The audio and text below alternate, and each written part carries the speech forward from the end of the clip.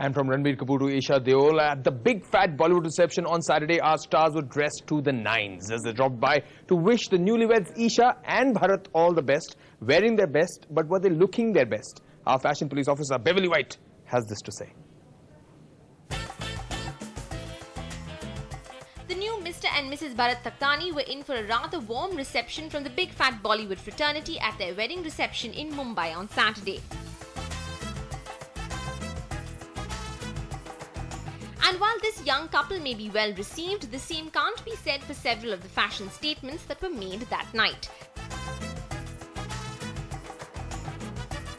While Kajol gets points for at least making an effort to look more stylish these days, we have to say that this new Shehla Khan creation was perhaps a little too bare and dare for Kajol.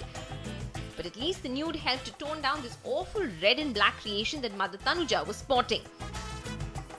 And while the bride herself was literally a blushing bride in pink, it seems that many of the guests were tickled pink as well.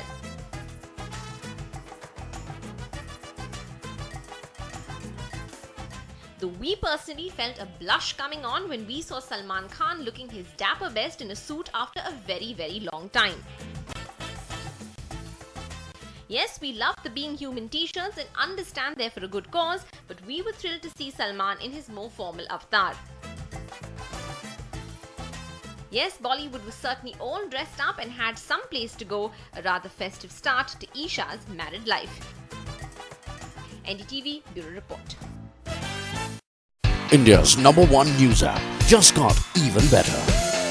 Download NDTV's new app, fully optimized for retina display, full screen view, faster response time, and Sudoku. NDTV's new iPad app. Download now.